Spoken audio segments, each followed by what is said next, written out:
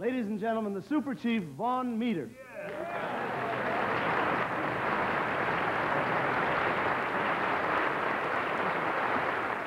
Vaughn,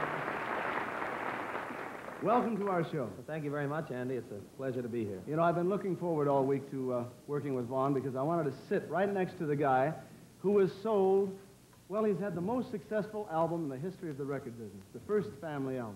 Thank you. Thank you, Andy. I guess between your Moon River album and my first family album, we've sold about six million of them. Well, then one of us has to have sold five million, and it ain't me. five million albums, wow. Who would you say is most responsible for the success of your album about President Kennedy? Richard Nixon.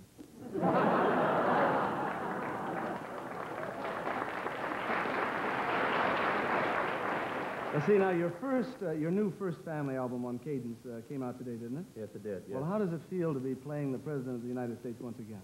Well, it's very nice, but it's sort of typecasted me. Oh? You know, I, I, well, this I didn't mind at first. I sent the president a telegram. I said, uh, be careful. Anything you do reflects on me. Well, how has this whole thing affected your home life? It's kind of strange, Andy. My janitor calls himself Secretary of the Interior. My wife went out and bought four wigs, and she calls herself the Speaker of the House. Well, I can see how this could have a drastic effect on your whole life.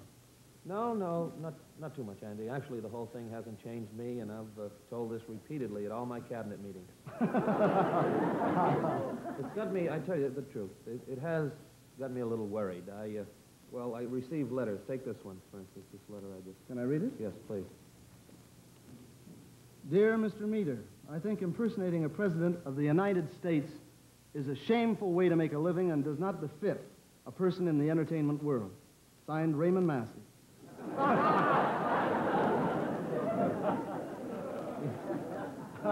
You know, doing, doing the president so much, I've, well, become concerned and interested in politics and the Yeah. politicians. And with the Academy and Emmy Awards coming up, I think that politicians and statesmen should get awards, not only the people in the movie and uh, television field. Well, maybe you have a point there. Do you want to try it now? Fine. Ladies and gentlemen, the Vaughn Meader Television Political Award. First of all, the nominations for the political songs of the year. The nominations are President Kennedy's That Old Tax Magic, the Dirks and Halleck Battle Hymn of the Republicans, and the AMA choruses Nobody Knows You When You're Down and Out. Next, we have the nominations for the best political quotations of the year. From Senator Brownlee Tompkins of Dakota. Food is very important. I eat it myself. Senator Hastings Lansbury of Louisiana. Literacy test. Don't prove nothing. From Congressman Pete Menshire of the state of Washington. You people do not understand the needs of the apple grower. Some of you think that apples grow on trees. Senator Bill Forgets of Oregon. I'm a pacifist, and I'll kill the first man that says I'm not. And now we have three awards for the best political books of the year. Nelson Rockefeller's How to Succeed in Politics Without Anybody Really Asking You. Barry Goldwater's There's No Time Like the Past. and George Romney's Rocky, please, I'd rather do it myself. And now, now a scene from the award-winning political show of the year, an informal interview at the White House.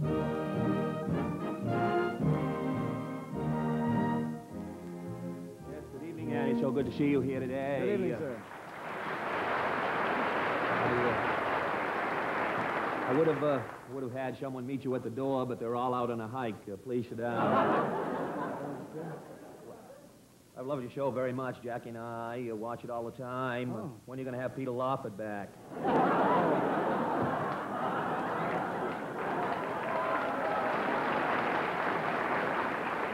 Say, tell me, do you mind if I ask you some questions? You've been in office now two years, and you've faced so many difficult problems. What is the most difficult problem you come up against? Buying presents for the family, I'd say. Uh, Well, Caroline's birthday is coming up. Uh, what are you giving her? a sandbox, Oh. Texas. Can you tell me, sir, will we have a cut in taxes this year? Yes, we'll have a cut in taxes. We'll cut, and we'll just keep cutting and uh, keep cutting and keep cutting till it takes just about every last cent you have.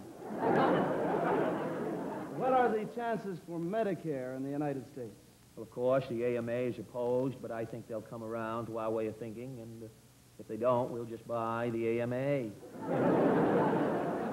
Do you think your brother Bobby will try for the presidency in 1968? Bobby is uh, ambitious. I hope he doesn't try in 64.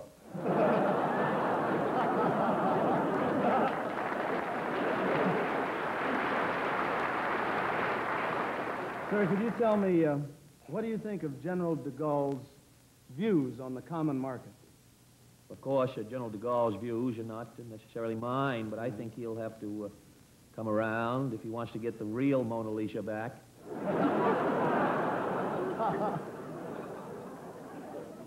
Tell me, sir, what do you think of uh, Vaughn Meader's album, The First Family? I think uh, Mr. Meader sounds more like Teddy than he does me. But uh, so do I. I uh, if I'd have known that album was going to do so well, I'd have made it myself. Speaking of Teddy, um, what do you think of your, your brother Teddy's winning the Senate race in Massachusetts? I think it was a good idea. Of course, uh, Teddy had to be senator, and uh, I guess you know why. Well, why is that, sir? Well, he just couldn't go from nowhere to the presidency. He had to sort of... As busy as you are, Mr. President, is uh, some of the burden of your office taken off of your shoulders by Lyndon Johnson? Who?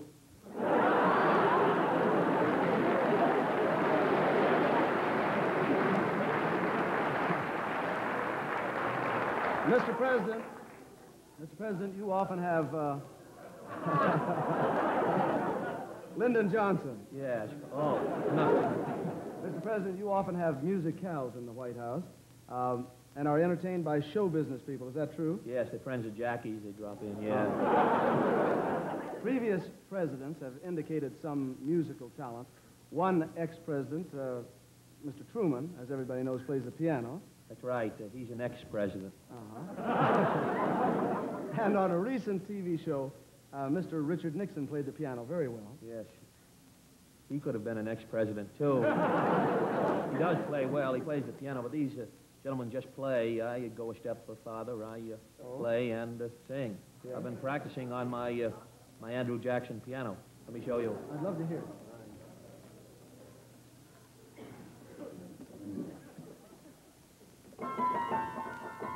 Just because you think you're so pretty, just because you think you're so hot, just because you think you got bigger that nobody else has got. When you cause me to spend all my money, and you laugh and call me old Santa Claus. I'm telling you, baby, I'm through with you just because, just because.